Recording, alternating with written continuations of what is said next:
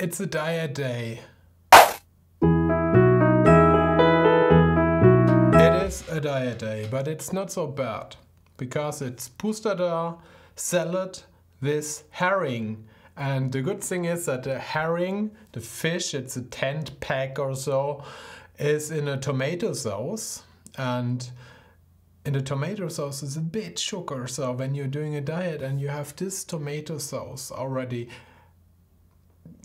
even tomato sauce is it uh, is, cannot be bad when you eating normally just very pure, very healthy stuff.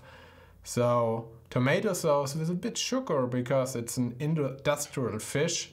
It's not the best, but it's also still okay when you're doing a diet. And I ate this a lot. In the first days, most of the time I ate uh, tuna. So tuna just in water, quite poor, no taste, and then you switch to herring in tomato sauce, and then you have the tomato sauce.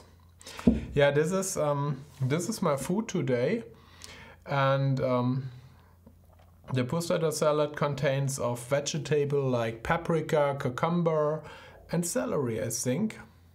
And I don't talk when eating this stuff, just chilling and tasting and listening and yeah, this will be my food today.